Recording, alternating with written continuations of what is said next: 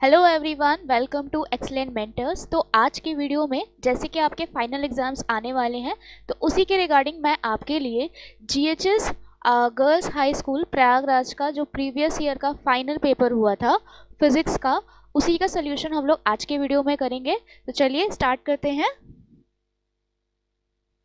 सो so, हमारा जो पहला क्वेश्चन था name the physical quantity which is measured in light year light year में क्या मेजर कर सकते हैं? तो हमारे फ़र्स्ट क्वेश्चन का आंसर हो जाएगा लेंथ ठीक है?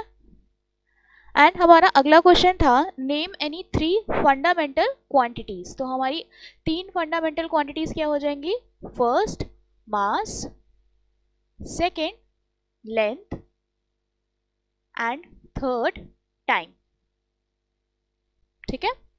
अगला क्वेश्चन है हमारा define the term pitch of a screw gauge तो इसका आंसर मैंने यहाँ मेंशन किया है। Pitch is the linear distance move in the linear scale for one rotation of the circular scale मतलब हम लोग सर्कुलर स्केल को एक बार रोटेट करने पर वो जितना लीनियर डिस्टेंस ट्रैवल करती है, उसी को हम लोग क्या कहते हैं? पिच एंड इसका फॉर्मूला भी है pitch is equals to linear distance move upon number of rotations next हमारा क्वेश्चन क्या है? A stopwatch has 10 divisions graduated between 0 to 5 second marks. What is the least count? ठीक है। देखिए लीस्ट काउंट कैसे निकालेंगे? थर्ड क्वेश्चन का answer least count is equals to marks total जो हमारे मार्क्स हैं upon total number of divisions so हमारे मार्क्स कितने हैं? ज़ीरो से फाइव तक हैं। तो five upon number of divisions हमारे हैं टेन डिवाइड कर देंगे तो हमारी लीस्ट काउंट हो जाएगी ज़ीरो पॉइंट फाइव अगला क्वेश्चन क्या है हमारा? When is the magnitude of displacement equal to the distance ठीक है. डिस्प्लेसमेंट एंड डिस्टेंस इनका वैल्यू कब सेम होती है? तो इसका आंसर होगा आपका, देखिए. When a body is traveling in a particular direction.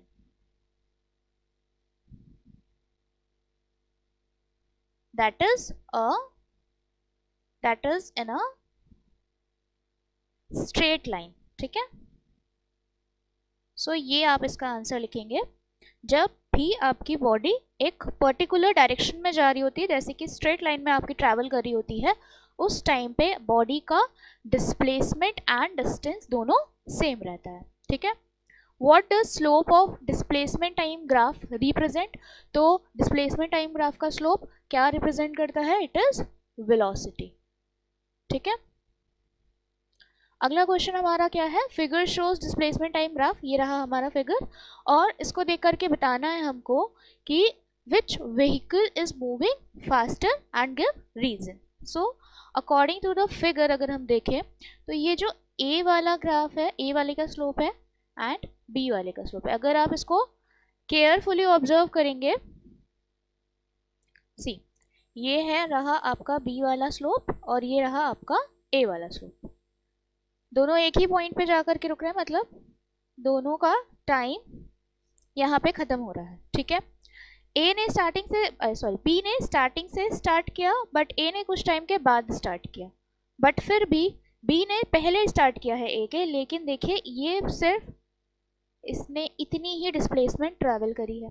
But अगर हम ए की बात करें तो ए ने बाद में स्टार्ट किया है बी के, अगर अकॉर्डिंग टू ग्राफ बट इसने बी से ज़्यादा डिस्प्लेसमेंट ट्रैवल करी है। ठीक है? सिंपली हम ग्राफ से यहाँ देख सकते हैं कि ए ने बाद में स्टार्ट किया है बी से बट इसने डिस्प्लेसमेंट जो है वो बी के कंपैरिजन में ज़्यादा कवर करी है।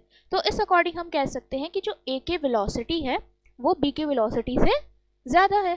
सो so, इसका आंसर क्या हो जाएगा? कौन तेज़ आपका मूव कर रहा है? तो आपका ए वाला जो व्हीकल है वो फास्ट मूव कर रहा है। और रीज़न क्या होगा? आप रीज़न इसमें देंगे because the slope of A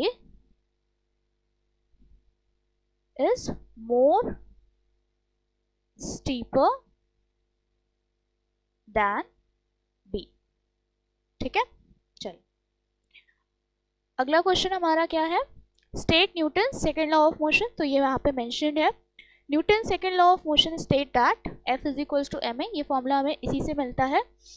और net force is equal to mass times acceleration a large net force acting on an object causes a large acceleration obviously क्योंकि ये इसके डायरेक्टली प्रोपोर्शनल है तो ज़्यादा फोर्स सो उससे ज़्यादा एक्सेलरेशन क्रिएट होगा.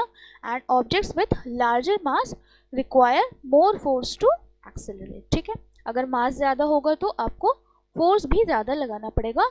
ये हमें न्यूटन का सेकेंड लॉ बताता है. या फिर आप डायरेक्टली भी लिख सकते हैं कि force is directly proportional to the acceleration and force is directly proportional to the mass ये दो हमें यहाँ से पॉइंट्स मिलते हैं न्यूटन के सेकेंड लॉ से, ठीक है? नेक्स्ट क्वेश्चन हमारा क्या है? A boy pushes a wall with a force of ten newton towards east ठीक है? What force is exerted by the wall on the boy तो ये हमारा न्यूटन के थर्ड लॉ के से रिलेटेड क्वेश्चन है एक्शन रिएक्शन अगर ये टेन न्यूटन ईस्ट की तरफ़ लगा रहा है तो इसका जो रिएक्शन फोर्स होगा वो किधर मिलेगा? टेन न्यूटन टूवर्ड्स वेस्ट ठीक है? ईस्ट का opposite west next what is meant by pressure so pressure is defined as the physical force exerted on an object. The force applied is perpendicular to the surface of object per unit area. मतलब pressure क्या होता है? Pressure is simply force per unit area ठीक है? अगला इसमें हमसे क्या पूछा था? स्टेट इट्स एसआई यूनिट तो इसकी एसआई यूनिट देखिए क्या होगी? फोर्स की होती है न्यूटन एरिया की होती है मीटर स्क्वायर तो ऐसा यूनिट क्या हो गई? न्यूटन पर मीटर स्क्वायर और आप पास्कल भी लिख सकते हैं। ठीक है? दोनों ही होती है। Next relative density okay sorry next हमसे क्वेश्चन क्या पूछा था? Convert five millimetre of mercury into pascal density दी है मर्करी की एंड हमें ग्रेविटी दे करके रखी है। ठीक है। देखिए, इसको कैसे सॉल्व करेंगे? सबसे पहले आपको इसके लिए प्रेशर का फॉर्मूला मालूम होना चाहिए। प्रेशर का फॉर्मूला होता है H rho G where H is height rho is density and G is gravitational acceleration तो हमें क्या दे करके रखा हुआ है? Five millimetre okay so H is five millimetre density हमें मर्करी की दी है thirteen point six into ten raise to the power three K G पर मीटर क्यूब एंड हमें जी की वैल्यू क्या दी हुई है? 9.8 मीटर पर सेकेंड स्क्वायर ठीक है? इतना वैल्यू दी है। देखिए डेंसिटी एंड ग्रेविटी दोनों हमारी एसआई यूनिट में है बट हाइट हमारी एसआई यूनिट में नहीं है तो इसको एसआई यूनिट में चेंज करेंगे। तो इसको डिवाइड कर देंगे थाउज़ेंड से तो ये हमारा मीटर में कन्वर्ट हो जाएगी। तो आंसर हो जाएगा zero point zero zero five metre. अब सब हमारे एस आई यूनिट में है तो मल्टीप्लाई कर देते हैं। So zero point zero zero five into thirteen point six into ten raise to the power three and into nine point eight ठीक है? यहाँ से डेसिमल हटाएँगे। थ्री ज़ीरोस बढ़ जाएँगे। तो इससे ये कैंसिल बचा हमारे पास thirteen point six nine point eight and five five से इसको इंटू कर देंगे तो ये हमारा हो जाएगा फोर्टी नाइन तो thirteen point six into forty nine इसको हमें मल्टीप्लाई करना है। तो देख लेते हैं क्या होगा। Thirteen point six into forty nine so ये हमारा हो गया nine is twenty seven and five thirty two ये हो गया ट्वेल्व ये हो गया four two carry twelve fourteen and this is five ठीक है? सो so, ये हमारा हो गया six six six point four so यहाँ पे हमारा इसका final answer six six six point four pascal रहेगा। ठीक है? सो so, हमारे फोर्थ वाले क्वेश्चन का आंसर बन रहा है six six six point four pascal अगला क्वेश्चन क्या है? What do you understand by the term relative density okay ये यहाँ है इसके लिए क्वेश्चन था। Relative density is the ratio of density of a substance to the density of a reference substance usually water relative density basically क्या होता है? जैसे रिलेटिव आपका लिखा है दैट मीन्स आपका किसी भी सब्सटेंस से uh, उसका रिलेशन बताता है रेशियो बताता है। जनरली वो दूसरा सब्सटेंस हमारा क्या रहता है? वाटर रहता है। ठीक है? और हमसे इसकी यूनिट पूछी है तो it has no unit because it is simply a ratio किसी भी रेशियो की कोई यूनिट नहीं होती है ठीक है? सो so, हमारा अगला क्वेश्चन है at what temperature the density of water is maximum so ये होता है four degree Celsius four degree Celsius पे वाटर की डेंसिटी सबसे ज़्यादा होती है। स्टेट इट्स वैल्यू सो यहाँ पे हमें ये नहीं बताया है कि एस आई सिस्टम में लिखना है कि सी जी एस सिस्टम में, जब नहीं बताया हो तो हम एस आई सिस्टम में ही आंसर लिखते हैं। तो एस आई सिस्टम के अकॉर्डिंग वाटर की डेंसिटी कितनी होती है? वन थाउज़ेंड के जी पर मीटर क्यूब ठीक है? नेक्स्ट हमें क्वेश्चन क्या दिया हुआ है? Name two renewable and non renewable sources of energy ठीक है? तो बहुत ईजी है। हमारे जो रिन्यूएबल सोर्सेज ऑफ़ एनर्जी क्या है? सन विंड ये हो गए हमारे रिन्यूएबल ठीक है? एंड नॉन रिन्यूएबल के लिए हम क्या लिख देंगे? कोल नेचुरल गैसेस ये सारे हमारे नॉन रिन्यूएबल के लिए हो गए. ठीक है? नेक्स्ट है with the help of a diagram show reflection of light from a plane mirror and that from a plane sheet of paper okay देखिए. जब आपको प्लेन मिरर से दिखाना रहेगा तो आपको ऐसे ड्रॉ करना है। ये हो गया आपका प्लेन मिरर यहाँ पॉलिश कर दिया। सो so, सारी रेज बिल्कुल ऐसे पैरेलली आएँगी और they will go like this parallelly he reflect करेंगे। यानी कि इस केस में हमारा रेगुलर रिफ्लेक्शन होगा। बट जब ये सरफेस एक प्लेन शीट ऑफ़ पेपर होगी तो रेज तो आपकी सारी आएँगी पैरेलल बट इनका रिफ्लेक्शन किसी भी डायरेक्शन में हो सकता है, ठीक है? इस तरीके से आपको दिखाना है। इस केस में आपका डिफ्यूज रिफ्लेक्शन होता है और इस केस में आपका रेगुलर रिफ्लेक्शन होता है, ठीक है? नेक्स्ट क्वेश्चन है write two characteristic of the image formed by a plane mirror so number one size of object is equal to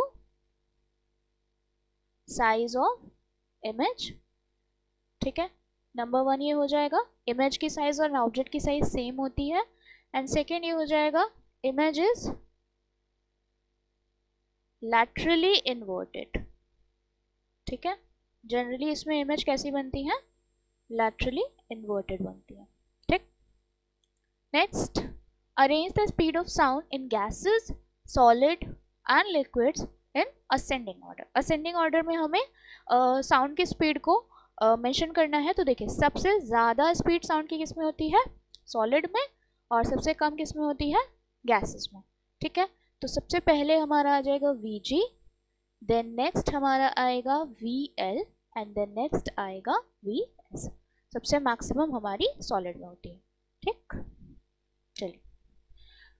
अगला क्वेश्चन हमारा क्या दिया था? नेम टू प्राइमरी सेल ठीक है? तो प्राइमरी सेल के दो नाम लिखने हैं तो पहला हो जाएगा हमारा डीरियल सेल एंड नेक्स्ट हो जाएगी हमारी Leclanche cell next question in transforming sorry in transferring 2.5 point five charge through a wire nine joule of work is done find the potential difference ठीक है। सो so, हमें V फाइंड आउट करने के लिए कहा गया है और हमें गिवन है charge two point five coulomb and हमें गिवन है work done that is nine point zero joule so potential difference का फॉर्मूला होता है v is equals to W by Q so work done हमारा है नाइन एंड चार्ज है two point five so cancel करेंगे यहाँ से ज़ीरो एक्सटेंड हो जाएगा. कैंसिल फाइव की टेबल से फाइव टाइम्स में वन टाइम्स में जाएगा एट फिर कैंसिल करेंगे तो ये हमारा आंसर बनेगा. थ्री टाइम्स में जाएगा fifteen three carry then three point six और पोटेंशियल डिफरेंस है तो इसकी यूनिट हो जाएगी वोल्ट ठीक है? सो so, हमारे इस क्वेश्चन का आंसर बनेगा 3.6 वोल्ट ठीक है? अगला क्वेश्चन हमें दिया है व्हाट इज़ एन इलेक्ट्रोमैग्नेट ठीक है? तो इलेक्ट्रोमैग्नेट की डेफिनेशन यहाँ पे मेंशन की है. And electromagnet is a soft metal core made into a magnet by the passage of electric current through a coil surrounding it. Electromagnet basically क्या होता है? देखिए, एक सॉफ्ट आयरन का बार होता है जिसके अराउंड हम लोग वायर को ऐसा कॉइल कर देते हैं और देन उसमें से हम लोग करंट जब पास करते हैं तो ये क्या बन जाता है? आपका मैग्नेट बन जाता है, ठीक है? जिसे हम लोग इलेक्ट्रोमैग्नेट कहते हैं। और फिर आगे हमें क्वेश्चन क्या दिया हुआ है? दैट्स इट उसके आगे हमने ये भी मेंशन किया है कि इलेक्ट्रोमैग्नेट्स को हम लोग कई सारे डिवाइसेस में यूज़ कर सकते हैं। Example hard disk drive MRI machine motors में जनरेटर्स में यहाँ पे यूज़ होता है। नेक्स्ट क्वेश्चन है state two ways through which the strength of electromagnet can be increase अगर हमें इसकी स्ट्रेंथ बढ़ानी है पावर बढ़ानी है तो इसके लिए क्या तरीका है? तो पहला तरीका तो ये है by increasing the magnitude of current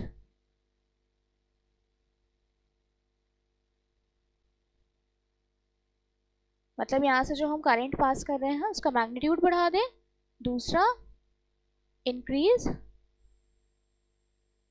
the number of turns in a coil यहाँ पे जितने भी हमने टर्न्स क्रिएट किए हैं, इसको अगर हम लोग बढ़ा देंगे तो इससे भी मेरा इलेक्ट्रोमैग्नेट पावरफुल बन जाएगा।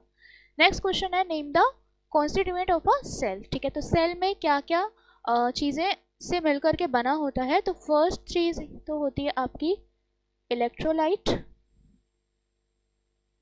इलेक्ट्रोलाइट क्या होता है? जैसे आपकी, अगर हम सेल देखें बेसिक सेल कुछ इस तरीके से रहती है।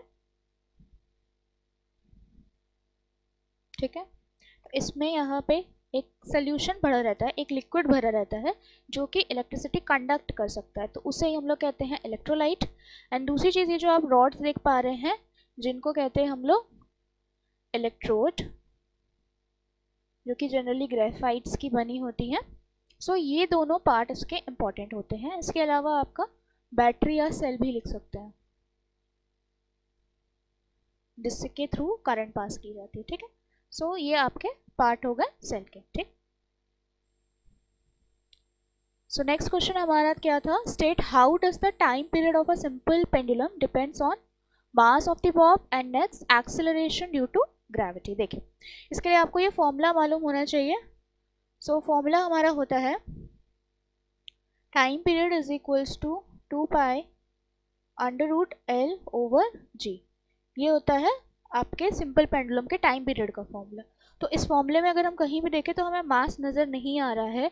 तो पहला जो हमारा क्वेश्चन है, इसका ए वाले का आंसर होगा time period does not depend on the mass of the bomb ठीक है? एंड जो इसका सेकेंड वाला पार्ट है how does it related related to acceleration due to gravity तो यहाँ पे साफ़ साफ़ दिख रहा है। ये इसके इन्वर्सली प्रोपोर्शनल होती है तो आपको लिखना पड़ेगा time period is inversely proportional to the square root of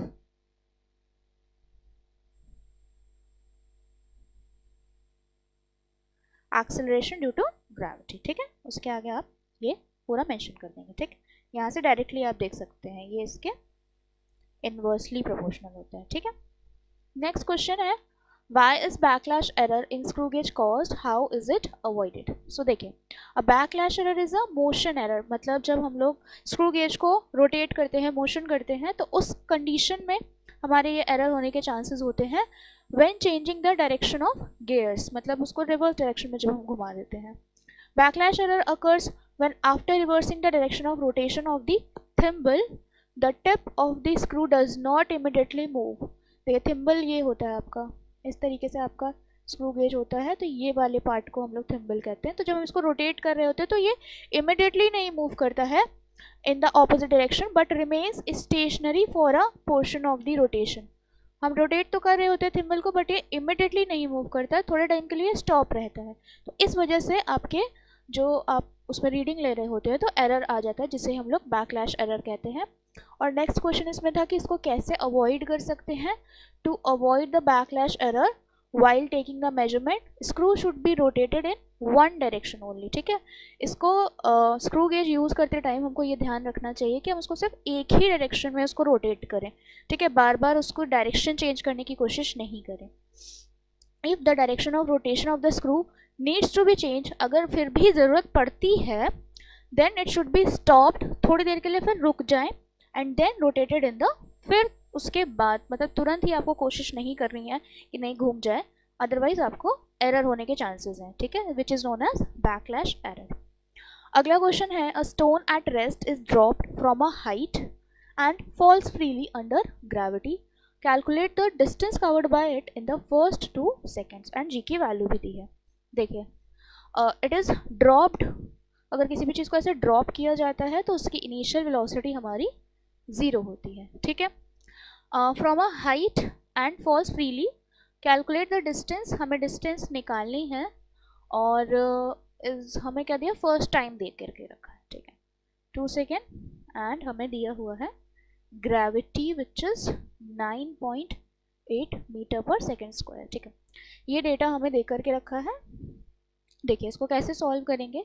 यहाँ पे एच लिख लीजिए डिस्टेंस को ठीक है? देखिए, इसके लिए हमें लगने वाला है मोशन का second equation that is H is equals to U T plus half G T square ठीक है? इसमें ये वाला पार्ट आपका तो ज़ीरो हो जाएगा बिकॉज़ यू ज़ीरो है तो आपका सिर्फ़ बचेगा half G T square values रख देंगे तो one by two into gravity की वैल्यू है nine point eight and time है हमारा टू तो टू इंटू टू टू से टू कैंसिल तो ये हो जाएगा हमारा नाइनटीन पॉइंट सिक्स मीटर्स ठीक है?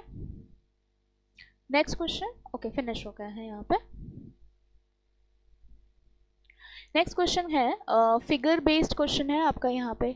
एक ग्राफ दे करके रखा है और हमसे पूछा है ये वेलोसिटी टाइम ग्राफ है. Okay state the nature of motion of the particle हमको बताना है कि इस ग्राफ को देख करके कि ये आ, मेरा जो पार्टिकल है उसका नेचर क्या है. सो so, देखिए ज़ीरो से फोर सेकेंड का जो आपका टाइम गैप है,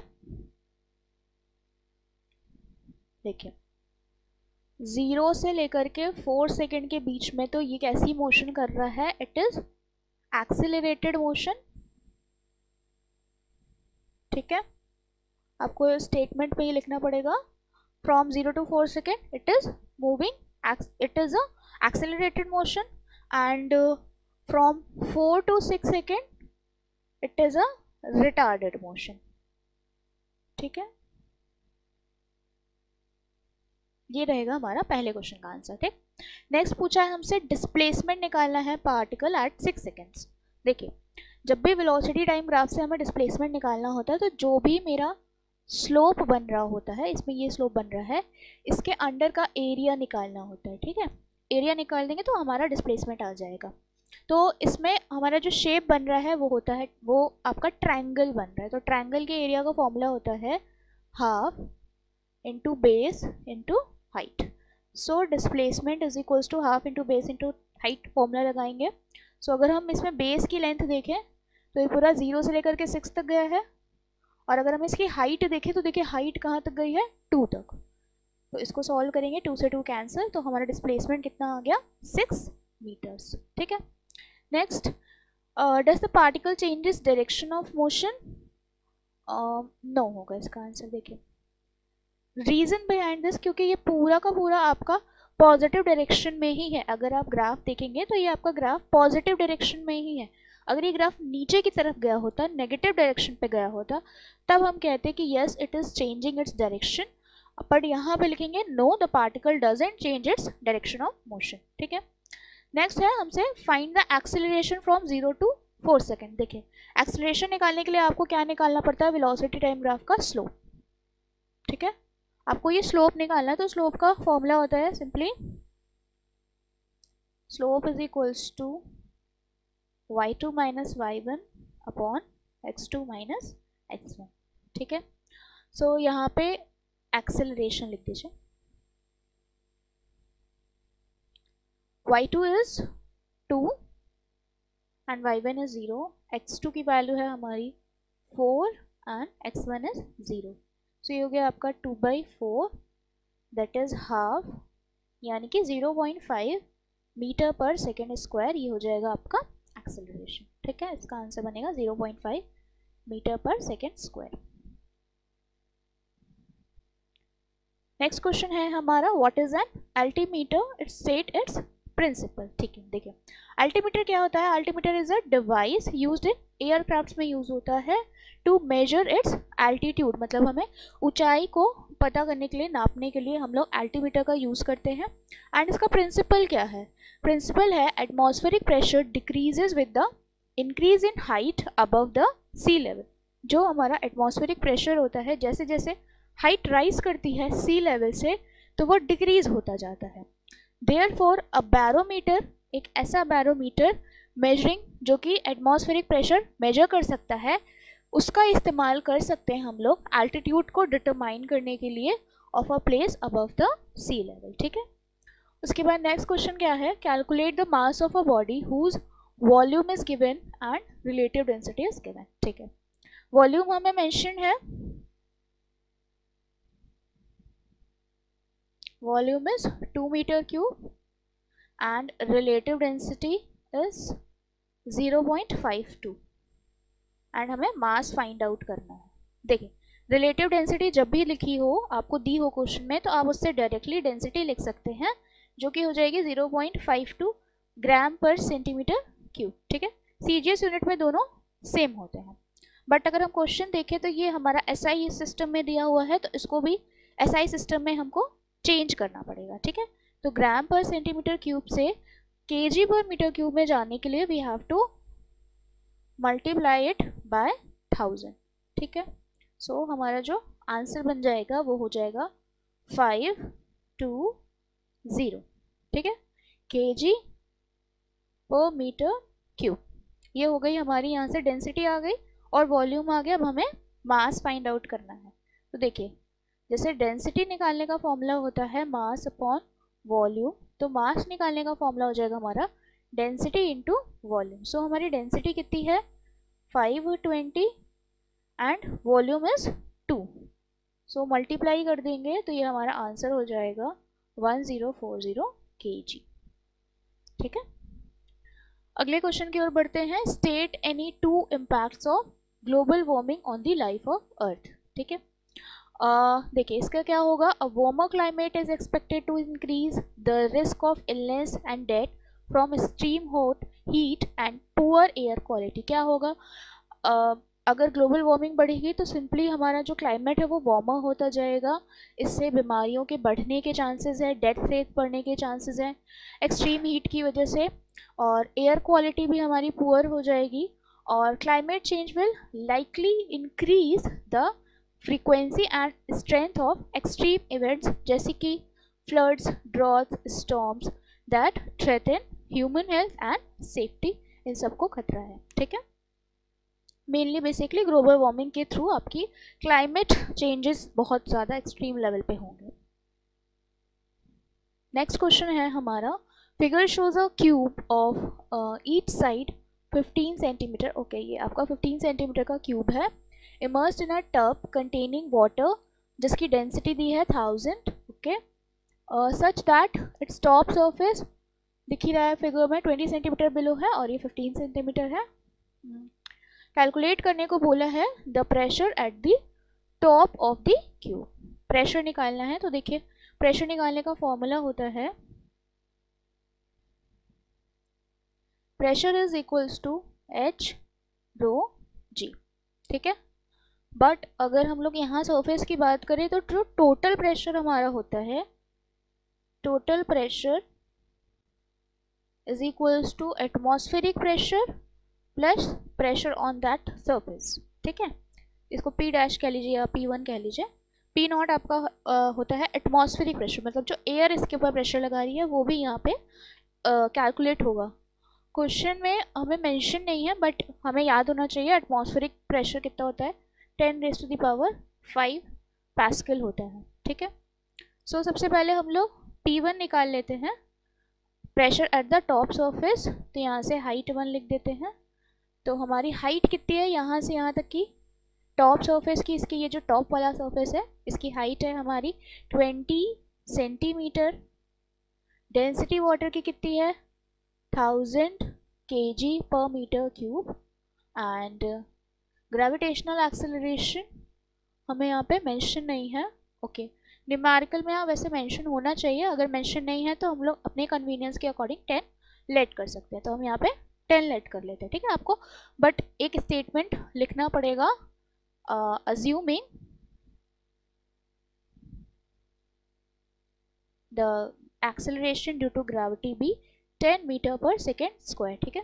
जब भी अगर आप न्यूमेरिकल में कुछ चीज़ अजम्पन करते हैं, कोई भी चीज़ अज्यूम करते हैं तो प्लीज़ उसको मेंशन ज़रूर कर दिया करिए स्टार्टिंग में, ठीक है? चलिए, जैसे यहाँ पे मैंने टेन मेंशन किया था। अब देखिए यहाँ पे प्रॉब्लम क्या है कि ये एस आई यूनिट में है बट ये आपका सी जी एस यूनिट में दिया है तो इसको चेंज करना पड़ेगा। So we will divided by hundred so zero से दो ज़ीरो यहाँ पे आपके कैंसिल हो जाएँगे तो ये आपका आंसर बनेगा टू थाउज़ेंड पास्कल ठीक है? यहाँ पे आपका हो गया टू थाउज़ेंड पास्कल और यहाँ पे अगर हम लोग एटमॉस्फेरिक प्रेशर की बात करें तो ये हो गया टेन की पावर फाइव पास्कल ये प्रेशर वन मेरा निकल के आया है टू थाउज़ेंड पास्कल जिसको आप लोग टू इंटू टेन की पावर थ्री भी लिख सकते हैं। अब चाहें तो इसको हम लोग यहाँ पे टेन की पावर थ्री कॉमन ले सकते हैं, ठीक है? तो अगर हम टेन की पावर थ्री कॉमन ले लेंगे तो ये बचेगा टेन की power two plus two so ये हो जाएगा आपका टेन की power three into one hundred two pascal ठीक है? ये आपका आंसर बन जाएगा। फिर नेक्स्ट है the pressure at the bottom of the cube मतलब यहाँ पे कितना लग रहा है प्रेशर देखिए, सारी चीज़ें सेम रहेंगी, बस हाइट यहाँ पे चेंज हो जाएगी। ये टॉप वाली हाइट प्लस इस क्यूब की हाइट तो इसके बॉटम वाले लेयर की हाइट आपकी कितनी हो जाएगी, जिसको हम लोग पी टू से मेंशन कर दे रहे हैं। H two into density into gravity so height two हमारी कितनी है? Twenty plus fifteen twenty plus fifteen which is thirty five centimetre ठीक है? थर्टी फाइव सेंटीमीटर डेंसिटी तो सेम रहने वाली है लिक्विड की thousand and gravity is ten so यहाँ पे हंड्रेड से इसको भी डिवाइड करना पड़ेगा सेम रीज़न सो दो जीरोज यहाँ से कैंसिल तो ये आपका हो गया थर्टी फाइव हंड्रेड पास्कल ठीक है? बट ये टोटल प्रेशर नहीं आया तो यहाँ पे नेट प्रेशर कितना हो जाएगा?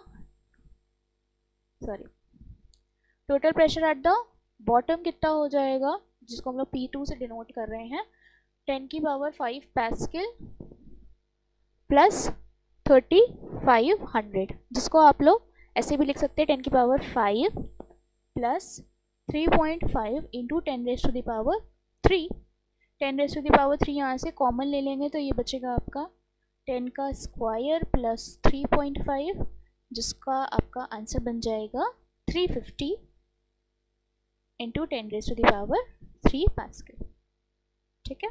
सो so, इसके फ़र्स्ट वाले का आंसर हमारा बना है ten raise to the power three into one hundred two pascal ठीक है? और इसके सेकेंड वाले क्वेश्चन का आंसर बना है हमारा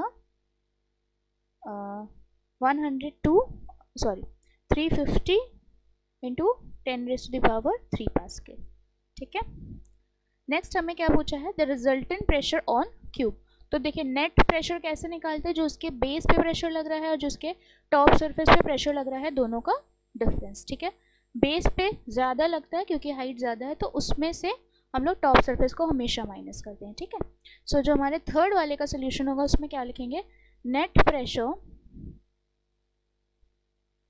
is equals to p two minus p one so जो मेरा पी टू आया था वो था three fifty into ten raise to the power three और पी वन आया था मेरा one hundred two into ten raise to the power three ten raise to the power three common ले लेंगे तो बचेगा हमारा three fifty minus one zero two subtract कर देंगे तो ये हमारा आंसर हो जाएगा eight four two two forty eight into ten raise to the power three pascal तो हमारे थर्ड वाले क्वेश्चन का आंसर बनेगा 248 into 10 raised to the power 3 Pascal. Next question है the resultant thrust on the cube देखिए thrust कैसे निकालते हैं? थ्रस्ट का फॉर्मूला इसको यहाँ पे सॉल्व कर दे रहे हैं।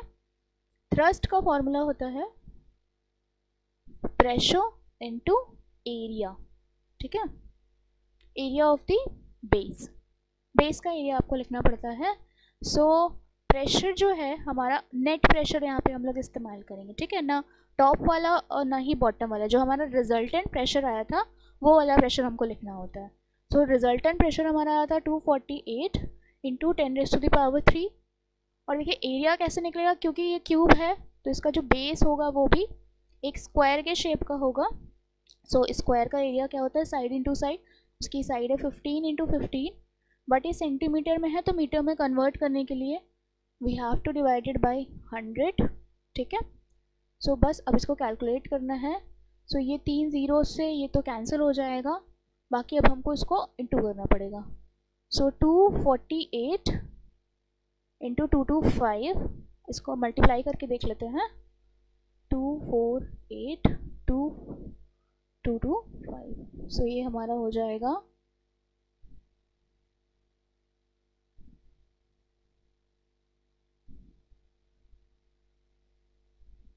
So uh, 10 12 18 uh, 10 11 15 5 5 8 double zero okay and divided by ten भी अभी हमारा बचा हुआ है तो एक ज़ीरो कट जाएगा तो हमारा आंसर आएगा five five eight zero pascal sorry pascal नहीं आएगा बिकॉज़ हम लोग थ्रस्ट निकाल रहे हैं तो ये आएगा न्यूटन में ठीक है? तो फोर्थ वाले क्वेश्चन का आंसर हो जाएगा five five eight zero newton. ठीक है? आई होप आपको समझ में आया। Next question state two uses of plane mirror तो बहुत बेसिक यूजेज होते हैं। पहला तो आप यही लिख सकते हैं एज अ लुकिंग ग्लास देखने के लिए। ठीक है? सो फ़र्स्ट यूज़ हो जाएगा as a looking glass next है हमारा complete the figure by drawing अच्छा सॉरी सेकेंड इसका मैंने यूज़ नहीं लिखा है. एज अ लुकिंग ग्लास की तरह यूज़ करते हैं और हम लोग इन अ पेरिस्कोप भी यूज़ करते हैं, ठीक है? पेरिस्कोप में भी हम लोग प्लेन मिरर का ही इस्तेमाल करते हैं. नेक्स्ट क्वेश्चन है हमारा complete the figure by drawing ray diagram ठीक है? ये हमारा कॉनकेव मिरर गिवन है और फोकस एंड पोल के बीच में हमारा ऑब्जेक्ट प्लेस्ड है. तो देखिए इसमें आपको क्या करना पड़ेगा। एक रे, सबसे पहले आपको ऐसे पैरेलल ड्रॉ करनी है, जो कि इस तरीके से जाएगी। फोकस से, ठीक है? एंड नेक्स्ट रे को आप ऐसे पोल से भी पास करा सकते हैं, जो ऐसे पास होगी। एंड इसको हम लोग पीछे की ओर जब एक्सटेंड करेंगे तो ये यहाँ पे मीट कर जाएगी, जो यहाँ पे आपका इमेज बनने वाली है, ठीक है? सो so, ये आप इसका नेमिंग भी कर सकते हैं ओ डैश ए डैश ठीक है हमें फिगर ही कंप्लीट करना था और कुछ नहीं था ठीक? नेक्स्ट आपके ये दो फिलअप्स आए हैं bats can produce and hear तो बैट्स अल्ट्रासोनिक जो साउंड होती है उसको सुन भी सकते हैं और प्रोड्यूस भी कर सकते हैं. और जो एलिफेंट होते हैं वो इंफ्रासोनिक साउंड को प्रोड्यूस करते हैं ठीक है? अब हमारे ये एक सर्किट डायग्राम दे करके रखा हुआ है। इसको हमें जितने भी पार्ट यहाँ पे ए बी सी डी से हैं, उन सबको लेबल भी करना है और हमें इस डायग्राम के अंदर फ्लो ऑफ़ करंट की डायरेक्शन भी बतानी है। तो सबसे पहले लेबलिंग कर लेते हैं। तो लेबल करने में हमारा जो पहला हो जाएगा ए सो ये ए हमारा क्या है? अमीटर है। बिकॉज़ ये सीरीज़ में लगा हुआ है, ठीक है? बी जो है हमारी सेल है। सी है इट्स अ की डी जो है, ये हमारा रेजिस्टेंस है। ठीक है? ई e जो है it is a voltmeter क्योंकि ये पैरेलल लगा हुआ है। एंड एफ़ जो है इट इज़ अ रेओस्टेट ठीक है? डी को वैसे किसी जगह रेजिस्टेंस भी लिखते हैं। बट कभी कभी इसको लोड से भी मेंशन किया जाता है। ठीक है? चलिए। एंड हमें इसमें फ्लो ऑफ़ करंट भी दिखानी थी तो फ्लो ऑफ़ करंट जो होती है हमेशा पॉजिटिव टू नेगेटिव जाती है तो इसमें जो लंबी वाली लाइन होती है वो पॉजिटिव होता है, जो छोटी लाइन होती है वो नेगेटिव टर्मिनल होता है तो इसमें आपकी करंट की डायरेक्शन ऐसे रहने वाली है। ठीक है? इस तरीके से। पॉजिटिव से नेगेटिव ठीक? चलिए। नेक्स्ट क्वेश्चन हमारा क्या था? Name the mirror which always produces an erect and virtual image ठीक है? हमें एक ऐसे मिरर का नाम लिखना है जो हमेशा इरेक्ट और वर्चुअल इमेज प्रोड्यूस करता है तो वो मिरर होता है हमारा कॉन्वेक्स मिरर ठीक? How is the size of the image related to the size of the object देखिए यहाँ पे मेंशन नहीं है कि आई uh, थिंक ये मिरर से ही इसी के आगे है तो इसी मिरर से रिलेटेड होगा। तो अगर हम इसके कॉन्टेक्स्ट में लिखेंगे तो जो साइज़ ऑफ़ इमेज होती है convex mirror particularly convex mirror के केस में मैं लिख रही हूँ, क्योंकि इसी के आगे एक्सटेंडेड है तो इसी के रिगार्डिंग क्वेश्चन भी होगा। Size of image is always lesser than the size of object ठीक है? ये रिलेशन होता है, ठीक? नेक्स्ट है for which range of frequencies human ears are most sensitive so वो होती है twenty hertz to twenty thousand hertz यही हमारी ऑडिबल रेंज भी होती है, ठीक है? What is the frequency range of ultrasound so आपको लिखना पड़ेगा अबव ट्वेंटी थाउज़ेंड हर्ट्स ठीक है? State two difference between primary and secondary cell तो ये यहाँ पे मेंशन है प्राइमरी सेल का क्या होता है? इनमें एनर्जी हाई होती है and slow in discharge and easy to use जो सेकेंडरी सेल होते हैं they have smaller energy and density ठीक है? नेक्स्ट हमसे नेक्स्ट इसका जो डिफरेंस हो जाएगा there are no fluids in the cell hence it is called as dry cells इसके अंदर कोई फ्लूड नहीं भरा होता है। सेकेंडरी सेल्स जो होती हैं they are made up of wet cells flooded and liquid cells and molten salt ठीक है? तो ये आपके दो डिफरेंस होने वाले हैं। नेक्स्ट हमसे क्वेश्चन पूछा है state four properties of magnetic field lines so first हो गई हमारी magnetic field lines do not cross कभी एक दूसरे को ऐसे क्रॉस नहीं करती हैं। दूसरी बात magnetic field lines form a close loop आपने देखा होगा, जो बार मैग्नेट ऐसे होता है तो इस तरीके से मैग्नेटिक फ़ील्ड लाइंस पूरा एक ऐसे क्लोज लूप बनाती हैं। Third at any point of the field जो field lines have both direction and magnitude दोनों होता है therefore magnetic field lines are vectors जिनमें भी डायरेक्शन और मैग्नीट्यूड होता है, वो क्या होती हैं? वेक्टर क्वांटिटीज़ होती हैं। Next magnetic field lines indicate the magnetic field direction ये डायरेक्शन बताती हैं ठीक है? तो ये आपके चार प्रॉपर्टीज़ हो जाएँगी। सो so, हमारा नेक्स्ट क्वेश्चन क्या था? State Ohm's law Ohm's law state that voltage across the conductor is directly proportional to the current flowing through it provided all physical conditions and temperature remain constant तो यानी कि ये बताता है कि जो पोटेंशियल डिफरेंस होता है वो डायरेक्टली प्रोपोर्शनल होता है हमारा करंट के। और जब भी प्रोपोर्शनैलिटी का साइन हटाते हैं तो हमारा फॉर्मूला आ जाता है V is equals to I R ठीक है? वैसे हमें बस ये स्टेटमेंट लिखनी थी अब चाहे तो फॉर्मूला भी लिख सकते हैं, कोई प्रॉब्लम नहीं है। नेक्स्ट क्वेश्चन है a bulb draws current 2.5 ampere at 6.0 volt find the resistance of the filament of the bulb while glowing चलिए, अच्छी बात है, इसी से रिगार्डिंग आप क्वेश्चन भी आ गया है। देखिए। क्वेश्चन क्या है? हमें करंट दिया हुआ है 2.5 एम्पियर एंड हमें गिवन है voltage that is six volt और हमें रेजिस्टेंस फाइंड करना है, ठीक है? फॉर्मूला यहीं पे लिखा हुआ है। रेजिस्टेंस का फॉर्मूला क्या बन जाएगा आपका? V upon I so V है हमारा सिक्स और करंट है टू पॉइंट फाइव डेसिमल हटा ज़ीरो बढ़ा फाइव फाइव सा एंड ये ट्वेल्व टाइम्स में जाएगा तो ये हो जाएगा two point four and resistance है तो ये ओम इसका सिंबल बनेगा ठीक है? नेक्स्ट क्वेश्चन है name the material use for making the armature देखिए ये रहा आर्मेचर ये वाला पार्ट ठीक?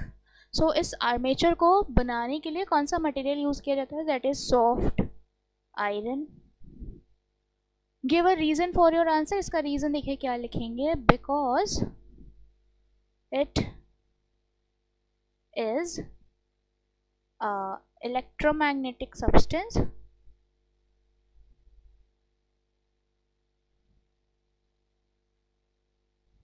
which can be easily magnetise which can be easily attracted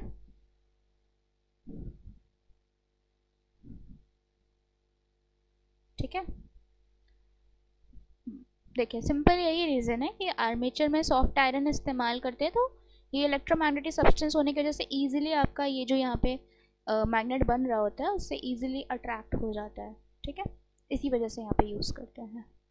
उसके बाद ड्रॉ लेबल डायग्राम इसी वजह से ये डायग्राम यहाँ पे बना हुआ है। आपको इलेक्ट्रिक बेल का एक पूरा डायग्राम बनाना था तो ये मैंने डायग्राम यहाँ पे पेस्ट किया हुआ है। जिसमें ये वाला पार्ट आपका होता है गोंग ये जो आपका ये यहाँ पे एक गया है, जो कि आर्मेचर से एक्चुअली कनेक्टेड है जो वो होता है आपका हैमर और ये जो आपका बना हुआ है ये है हॉर्श शू इलेक्ट्रोमैग्नेट ठीक है? क्योंकि उसी के शेप का है। एंड देन ये आर्मेचर अभी हम लोगों ने डिस्कस किया था। सॉफ्ट आयरन का बना होता है। एडजस्टिंग स्क्रू ये वाला पार्ट हो गया। मेटालिक स्ट्रिप इधर लगी हुई है। एंड देन बैटरी और स्विच तो आपके हैं ठीक है? सो so, आप ये वाला डायग्राम यहाँ से देख सकते हैं। आपकी बुक्स में भी बना होगा सेम डायग्राम ठीक है? सो so, इसी के साथ हमारे इस पेपर का सोल्यूशन एंड होता है। सो आई होप आपको सारे क्वेश्चंस के एक्सप्लेनेशन और सोल्यूशंस पसंद आए होंगे। और अगर पसंद आए हों तो do like this video thank you